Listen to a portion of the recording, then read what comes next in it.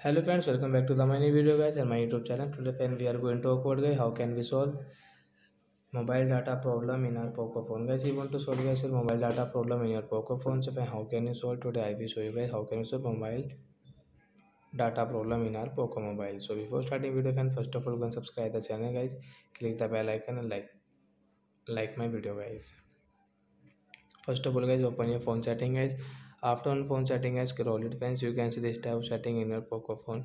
So friends, click on guys your connection sharing option guys. Tap here guys. Again scroll. Guys, you can see your reset setting guys. Tap here guys. You can see mobile data guys. We will tap here to solve it.